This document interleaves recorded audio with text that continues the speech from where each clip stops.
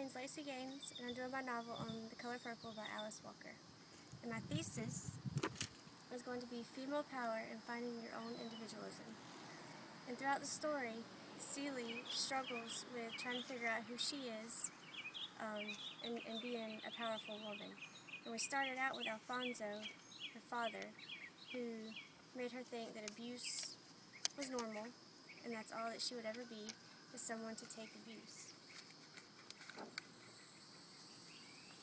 He called her stupid, made her think she couldn't do anything to succeed, told her she was ugly. Just pretty much, you know, made her feel like she would never be a strong woman. Um, and then Mr. came along and asked her father, you know, if, she, if he could marry his daughter Nettie.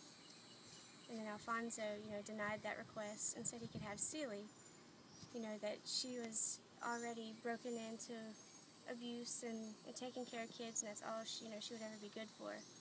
But Nettie was going to be successful. So, uh, you know, Mr. took her.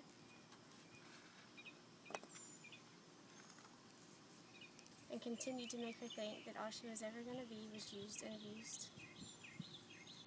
Um, and as she raised up Mr.'s kids, uh, Mr.'s son married a girl named Sofia, who struggled all her life, and eventually, once she married, she thought she would never have to fight in her own home until Celie made um, Mr. Son abuse Sofia to make her listen.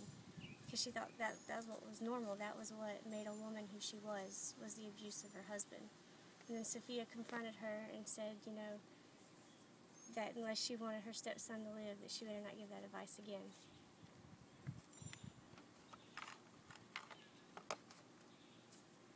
And then we have Nettie, who eventually tried to escape their father and came to Celie in Mr.'s house.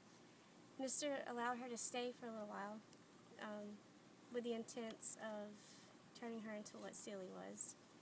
And uh, when he did try to pursue that, she she forced him off. And, um, you know, throughout the cycle, her and Celie knew they would be separated. So Nettie taught her everything as far as spelling, writing, so that when they were separated, they could still communicate.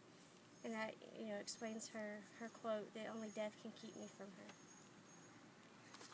And that was where her strength started, was Nettie, making her be more independent. And then we learn about Shug, who was uh, Mr.'s mistress. And at first, you know, she walks in and there's a there's a bad feeling. For one, Shug's kind of jealous of the marriage, and uh, you know amazed by her her beauty. And um, even though she's ill and is her husband's mistress, she takes care of her, gets her better. And then Shug sees the beauty inside of her and makes her realize she is strong, helps her find letters that Mr. hid from Nettie, her sister, and uh, shows her that she don't have to take stuff off of a man like Shug. Shug would never do that, and she taught her otherwise. And it just taught Celie more female empowerment and, and domination. And then in the end, you know, she cusses out Mister, something nobody thought she would ever do. And she she continues on and she becomes very successful and in the end finds out her father is not actually her father. So everything starts falling into place and she um, she gets a house that her real father left to her and uh, after cussing out Mister in a sense he find he finds his own individualism you know he finds remorse in what he did to her um, and compassion. And then he turns out that he actually, you know, brings her life together with her sister and her children that she uh, mothered to what she thought was her father. Um, and in the end, Mr. brings them back to her. And everything falls into place and she just becomes a strong, independent woman. Thank you. That's the end of my presentation. If you have any questions, you can contact me on Angel or look me up on Facebook.